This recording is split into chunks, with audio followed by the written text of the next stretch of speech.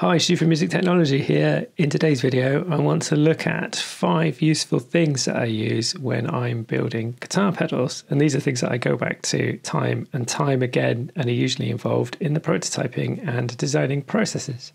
So, if you're anything like me, you'll have multiple projects sitting around on breadboards all over the place. Uh, these are things that I'm still testing and haven't fully realized into full projects yet. Some of them are audio projects and some of them are not. This is a clock, for example. So I have a bunch of these lying around, and these are always useful, these little breadboards, just to quickly prototype little EQ circuits, tone controls such as this one. Um, but I always find myself having to wire the inputs and outputs using jacks, such as this one, for example, and this one here. And that can be a bit of a pain when you're constantly building up circuits, such as the ones that we've been analyzing in our videos. So you saw me build this in a previous video, which is a pedal um, from a recycled old housing, and it's got two of those breadboards on top. And we've got our input, output, and our power coming in here from our power jack. And this is extremely useful because you can just build up your project and put it into your normal pedal chain. Here's one that we've been looking at in recent videos with the output stage of the Big Muff Pi pedal built onto it. So these are my first thing that I use all the time homemade or DIY prototyping pedals, and I highly recommend building some of these if you're into building guitar pedal circuits.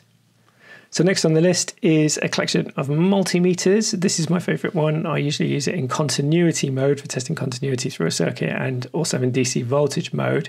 If I want to measure current, I usually use this one or that one as you've seen in some of the previous videos. But I highly recommend having at least one decent multimeter and you tend to collect them as you go through and get more into the hobby of building guitar effects and they're always useful. I recommend holding on to any that you're given because they'll always come useful at some point for a project. It's always a good idea to have some kind of sound generator, such as this adjustable sawtooth generator. There's a video of how I made this on the channel and how it works inside. And this is my white and pink noise generator. You've seen me use both in previous videos to generate some signal.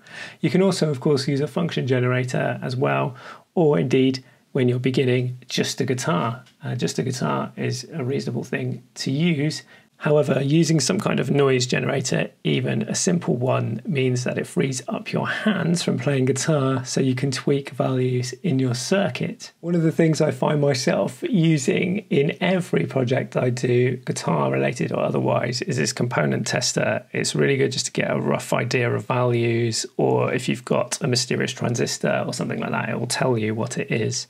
Now, I've used it so much that I actually broke the button. This button no longer works.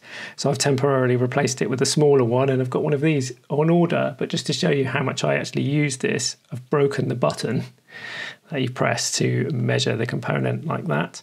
I also decided when I was doing some work on it the other day to buy some of these test leads and create a little connector which goes in here and now I can connect these to much bigger components. So a cheap little upgrade you can do if you've got one of these, extremely useful.